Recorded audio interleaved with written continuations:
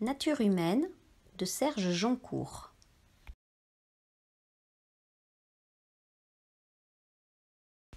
Le roman de Serge Joncourt, Nature humaine, marque des retrouvailles avec une plume que j'apprécie tout particulièrement. Vous vous souvenez peut-être de Chien-loup, un énorme coup de cœur, ou bien de Repose-toi sur moi et L'amour sans le faire. Ce roman est lauréat du prix Femina 2020. Toutes mes félicitations vont à l'écrivain et sa maison d'édition, Flammarion. Direction Le Lot, dans le sud-ouest de la France. Bienvenue à la ferme des Fabriers. Nous sommes en 1976 en pleine sécheresse. Alexandre, le jeune homme de la maison, s'inscrit dans la succession de ses parents. Ses trois sœurs, elles, sont attirées par la ville. Caroline fait des études à Toulouse où elle vit en colocation. Alexandre ne manque jamais une occasion de faire le taxi. Il en profite pour vivre des soirées entre jeunes. C'est là qu'il rencontre Constance, une jeune Allemande de l'Est, dont il va tomber amoureux. C'est là aussi qu'il va côtoyer des activistes mobilisés contre l'installation de centrales nucléaires. Mais rien n'y fait, Alexandre est un rural, c'est un agriculteur, assailli par l'essor de la grande distribution. Un hypermarché mammouth vient de s'installer à proximité, les normes sanitaires évoluent, Alexandre doit faire face coûte que coûte. Nature humaine de Serge Joncourt est le roman des mutations. On commence avec la mutation climatique. L'écrivain tape fort, il commence le roman avec cet été mémorable de 1976. À l'époque, on appelait ça une sécheresse, et c'était exceptionnel. Aujourd'hui, le terme a changé. Nous vivons des canicules. Elles se suivent et se ressemblent, malheureusement. Serge Joncourt achève le propos avec l'année 1979, l'année de la tempête. Ce roman, c'est celui de la mutation économique aussi. Avec l'exemple de la marque Mammouth, que l'on peut prendre au premier comme au second degré, la métaphore est très bien trouvée pour illustrer la grande distribution émergente, anéantissant le système de production agricole d'antan.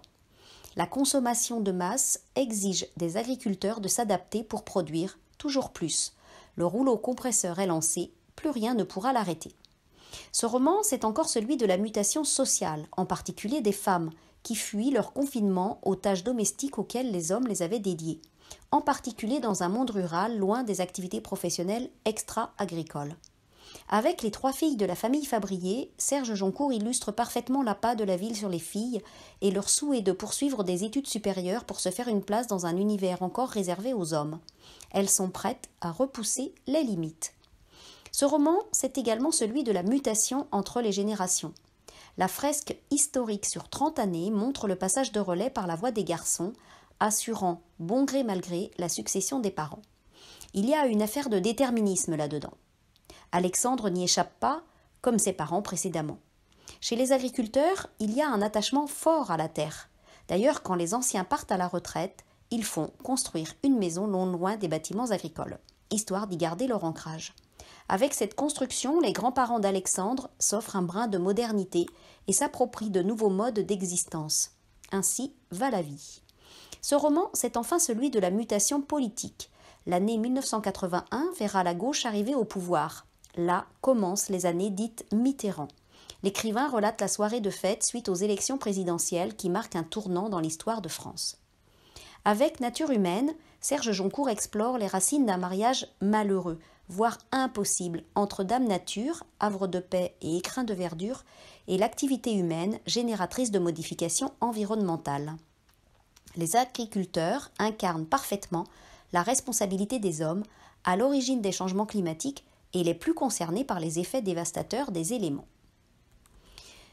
Ils sont tour à tour responsables et victimes de leurs faits. Avec ce roman, et pour celles et ceux qui ne sont pas du milieu, l'écrivain nous permet, le temps d'une lecture, de regarder dans le rétroviseur et de revisiter l'histoire pour mieux comprendre d'où l'on vient et qui nous sommes aujourd'hui. Si Serge Joncourt ne l'avait pas lui-même affirmé dans une interview donnée au Monde, écrire c'est faire vivre des personnages, des intrigues, mais aussi dire des choses du monde, je l'aurais bien sûr martelé.